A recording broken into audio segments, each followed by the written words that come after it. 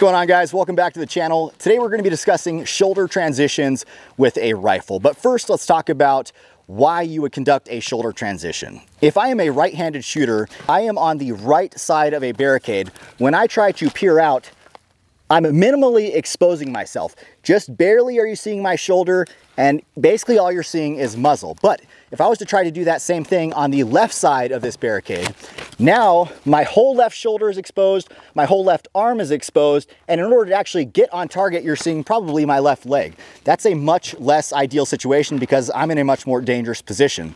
So in that case, if I conducted a shoulder transition and switched to my support side, now I have the same level of cover as I did on my strong side on the right side of the barricade as I do on my support side on the left side of the barricade. But I'll preface it by saying this is not something you are going to want to do in every situation where you're firing from the left side of a barricade. If you're in a team environment and you're conducting CQB in a dynamic entry, you're probably not gonna wanna do that all the time because you're gonna slow up the team. So there's certain circumstances where you would do it and certain circumstances where you wouldn't do it. So we're gonna be covering two methods today to actually conduct the shoulder transition. So before we get into it, the one thing I'll say is if you're using a two point sling, what I like to do is actually wear the sling as a necklace rather than having my arm through. And the reason I do that is because if I have my arm through and I begin to conduct a shoulder transition, sometimes it's just too tight and it gets caught on the stock here and it's just not really convenient. So for that reason, I like to have it just wearing it around my neck and it's a much easier to manipulate in that situation. So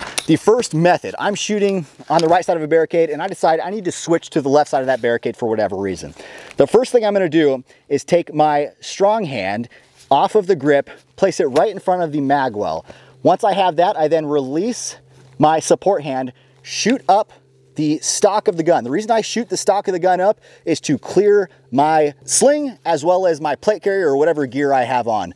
Then I switch shoulders as I'm moving into position, place it into my support side shoulder pocket, then establish my master grip. Once I've established my master grip and my cheek weld, I'm gonna push my strong hand back out on the rail to again maintain good mechanics and have that proper recoil management. All right, so the next method that I see more and more often lately, and it's kind of catching traction, it's not one I use all that often, but I'll show it to you anyways. So rather than trying to transition by switching your hand positions from your strong hand maintaining master grip to your support hand maintaining master grip, you simply bump the stock over. So if I'm here trying to transition to the other side of the barricade, rather than going through the hand manipulation, I simply push the stock out to my left side cheek, my support side cheek, maintain a master grip with my strong hand and maintain my support hand off on the rail.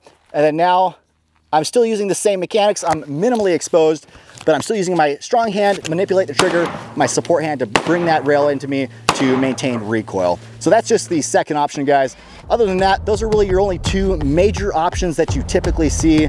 I'm not saying one's better than the other, but uh, try them both out and whatever you do, train with them. Whatever method you're gonna do, train, train, train. The most important thing is to get out here and train when you're gonna do it. And you can also train dry fire, guys. Thank you for tuning in. As always, I appreciate it. Don't forget to like, comment, share, subscribe. Hopefully I earned your subscription with this video. I appreciate you guys, and I'll see you in the next one.